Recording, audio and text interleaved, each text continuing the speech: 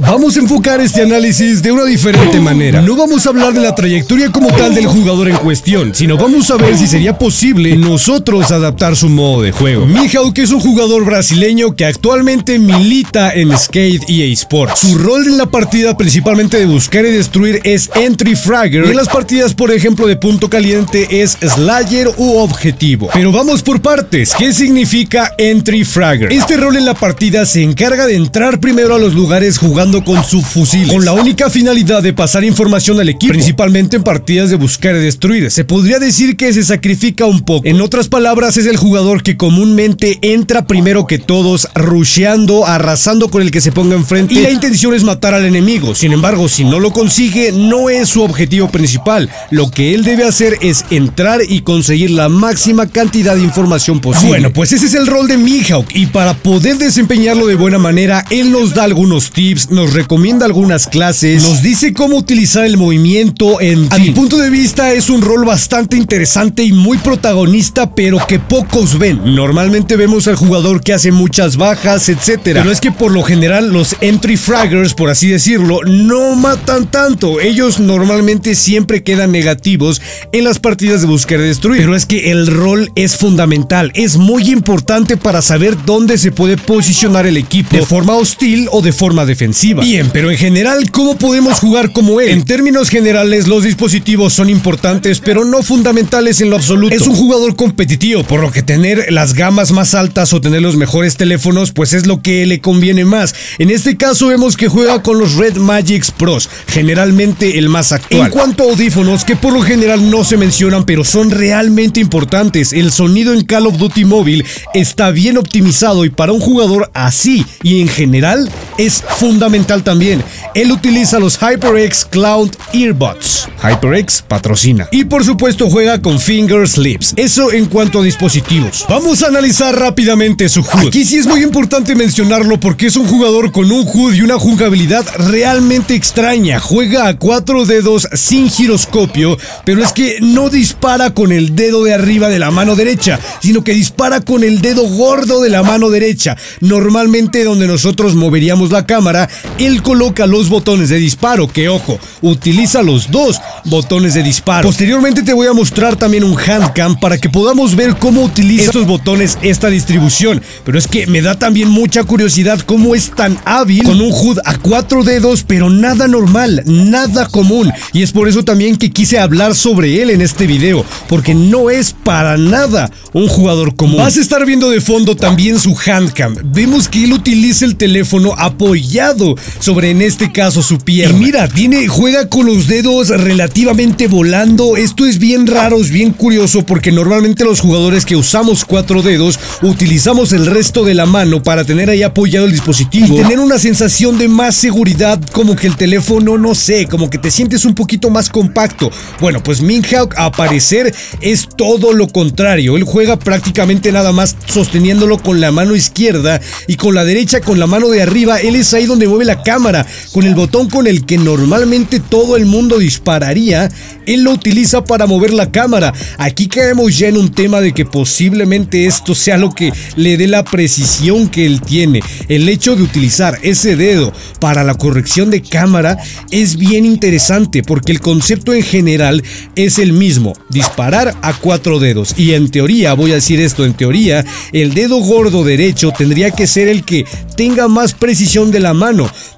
pero, ¿y si todo lo estamos haciendo mal y el dedo que más precisión te da, el dedo más sensible, es en realidad el dedo de arriba y nosotros lo estamos utilizando únicamente para disparar, cuando debería ser al revés y estamos perdiendo algún tipo de capacidad? No lo sé. Me hace muchas, muchas, muchas dudas el hecho de cómo juega Mihawk, me da mucha curiosidad, pero, pero en fin, amigos, todos véanlo, disfrútenlo y denme su opinión en los comentarios. En cuanto a ajustes generales, vemos que también es muy común con el aim assist activado, con no tirar rápidamente la granada para poder calcularlo, un joystick eh, auto sprint, a rápidamente correr con el joystick. Aquí no tiene en realidad nada, nada en especial bajo mi punto de vista. Un jugador muy normal con eh, configuraciones competitivas. Mucha gente pregunta que cómo es que estos jugadores de tan alto nivel tienen el aim assist activado. Yo siempre se los comento. Eh, no tenerlo activado es una desventaja porque todos los demás sí lo llevan. Entonces, pues se activa ¿qué más da? Algo importante que él nos comenta para poder tener su jugabilidad, no tener el botón activado que nos permite mover la cámara y al mismo tiempo disparar. No, los botones que él utiliza, la configuración en general que él utiliza, simplemente aplica el dedo en el botón para disparar, no para mover la cámara. Esto porque puede ser que al momento de corregir la vista, corregir precisamente el movimiento del arma de cadera, el disparar con ella puede ser incómodo.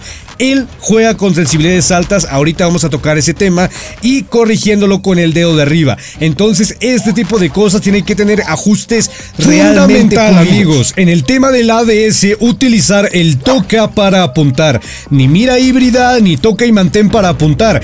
Esto es muy importante porque después, al ver su jugabilidad, vemos que es un elemento que hace mucho uso de las técnicas drop shot, deslizarte, etc. Y por la distribución de botones en pantalla, por su HUD, por su sensibilidad alta, por sus configuraciones, es importante que simplemente con un toque apunte y después desapunte, porque utilice ese dedo también para hacer sus demás maniobras. Entonces, si tú quieres tener ese movimiento que ahorita vamos a ver, si quieres tener ese dinamismo, es muy importante que utilices simplemente toca para apuntar. Vas a necesitar ese dedo, o bien implementar otro dedo en pantalla, pero ya no sería jugar No utiliza toda la sensibilidad para sprintar automáticamente, la deja en torno al 90% con el simple motivo de que a veces en partidas de buscar y destruir para evitar precisamente el ruido de tus pasos, es importante hacer que el muñeco camine. Otro dato importante, no utiliza giroscopio y el cámara FOV para la primera persona la maneja en el 60%, mientras que el otro apartado del FOV sí lo utiliza en un 100%. Tema de gráficos y FPS, gráficos en medio y el frame rate en ultra. Saben ustedes que algunos dispositivos admiten los 90 FPS FPS. Bueno, pues se supone que es el caso.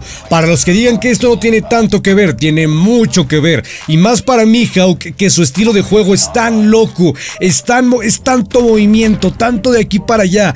Créeme que la diferencia de esos FPS se notan y eso puede darle cierta ventaja adoptándolo a su modo de juego. Los temas más importantes, señores, las sensibilidades. Juega con aceleración de velocidad en un promedio de 90-89 más o menos en ese rango. Él nos dice que es importante conocer las sensibilidades y que él recomienda incluso jugar con sensibilidades altas porque por el estilo de juego, por utilizar tanta SMG, etcétera, tiene que estar constantemente rotando en su propio eje y tiene que estar disparando enfrente, disparando atrás, al lado, izquierda, derecha, cualquiera de las esquinas. Y de fondo vas a estar viendo sus sensibilidades, como te puedes estar dando cuenta, si no es el jugador con las sensibilidades más altas que yo te mostré en el canal, si es uno de ellos, por lo menos en el top 3 que yo he visto. Es decir, estamos viendo que juega con sensibilidades arriba de 180. Entonces, el movimiento que él tiene que hacer es enorme. Como hace rato estábamos viendo en su, en su handcam, los toques a la pantalla ligeros que él llega a hacer con el dedo índice son muy pequeños, son prácticamente quirúrgicos. Entonces, tú sabes que depende siempre todo el tiempo de qué dispositivo estés jugando. No es lo mismo, no son las mismas pantallas, pero sí nos podemos ir dando una idea. Juega con sensibilidades muy, altas aún y cuando la recomendación es que juegues con sensibilidades bajas para no fallar tantas balas. Tú imagínate lo complicado que debe ser jugar de esta manera, pero si tú logras controlarlo, si logras dominarlo, así es como puedes llegar a ser alguien como mí. Y ya para finalizar amigos, yo me imagino que a lo largo del video fuiste viendo clips, fuiste viendo su jugabilidad, cómo él se mueve, cómo se desempeña, la puntería que él logra desempeñar, etcétera.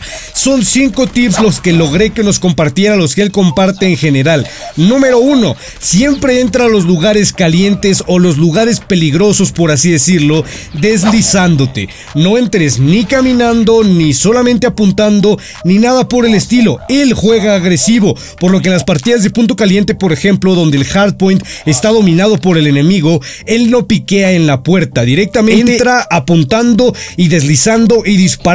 Es un jugador agresivo que tiene que estar acostumbrado a limpiar los puntos para que así permitir que sus compañeros se posicionen. Es el sacrificado, acuérdate. En el tip número 2, en enfrentamientos directos a cualquier distancia cara a cara, siempre aplica jump shot o drop shot. Siempre. Haz mucho uso de esas técnicas. Puede parecer un tip que todos sabemos, pero realmente pocos aplicamos. Y eso yo lo veo en Ranked, lo veo incluso en mi propia jugabilidad. Es un tip que yo también doy, que yo también recomiendo, pero pero es que eh, no me termino de acostumbrar a utilizarlos todo el tiempo, a estarme moviendo, etcétera, o a punto de disparo o hago el baile enfrente del rival. Yo sé que es complicado, pero es la diferencia de ser un jugador como Mihawk o ser un jugador casual. En el tip número 3 nos dice, juega con estilo, muévete siempre como loco por todo el mapa todo el tiempo, aprovechando que tenemos eh, sus fusiles en mano. Somos ligeros y el movimiento es muy importante. No seas tan precavido. Él es así como lo explica, no seas tan precavido, no tengas tanto miedo de rushear por el mapa y ir haciendo locuras e ir haciendo zigzags y tratar de confundir al rival. No, Tienes que ser un jugador en constante movimiento, sí, pero más que en constante movimiento. Hacer alguna que otra locura, mover la cámara, yo qué sé, él así lo denomina, jugar con estilo. El tip número 4 que también ya mencionábamos en el video, juega y acostúmbrate siempre a sensibilidades altas. Él dice que es raro que él juegue con ello, pero él lo recomienda. Él dice que hay que tener precaución al respecto, porque uno de sus compañeros que juega similar a él, juega todo lo contrario, con sensibilidades bajas. Entonces esto es cuestión de costumbre. Lo que él nos dice es precisamente que cuando eres un entry fragger, tienes que estar atento a todo, todo, todo tu entorno en comparación o en contraste también con tus compañeros. Tienes que estar siempre recolectando información. Si quieres, no matando jugadores, pero sí recolectando información. ¿Cómo logras hacer eso? Viendo la mayor cantidad de mapa posible. Eso es lo que te permite una sensibilidad alta, o por lo menos eso es lo que él nos explica. Y ya como último tip también nos da siempre ser consciente de las distancias. No te conviene nunca enfrentarte a un AR, por ejemplo, no debes dejar que te gane el instinto y debes pensar bien antes de cualquier gunfight, principalmente en buscar y destruir. Siempre busca estar cerca del enemigo. Siguiendo estos tips, no hay manera de que te gane el 1 versus 1. Acuérdate que que tú tienes una SMG de cadera y como sea en distancias cortas, tú siempre llevas ventaja. Entonces, cabeza fría, siempre iniciar una pelea cabeza fría al jugar, acuérdate, es la diferencia entre un jugador casual como yo y un jugador competitivo como mi. Y ahí está, señores, estos tips te los presentó, por supuesto, un jugador que tiene 71 medallas de primer lugar, 10 medallas de segundo lugar y ha sido 12 veces MVP a lo largo de su trayectoria en Call of Duty Mobile. Sin lugar a dudas, es un jugador brasileño bastante completo, al cual le agradezco habernos explicado todo esto, le agradezco habernos dado sus tips y ser tan eh, colaborativo en contraste por ejemplo con los chinos. Aquí los jugadores brasileños, tanto Lucasin como Luosin como Mihawk, siempre me han dicho que cualquier consejo que él nos pueda dar a la comunidad lo van a hacer. Nos proporcionó toda la información. Vas a tener su canal también en la zona de la descripción, su Instagram, para que vayas a estar pendiente de sus redes sociales, lo sigas y te empapes de su talento. Espero que la dinámica del video te haya parecido interesante. Dime si quieres que sigamos de esta manera o bien retomamos nuestra técnica habitual de analizar jugadores. Señores, nos vemos. Hasta la próxima. Bye bye.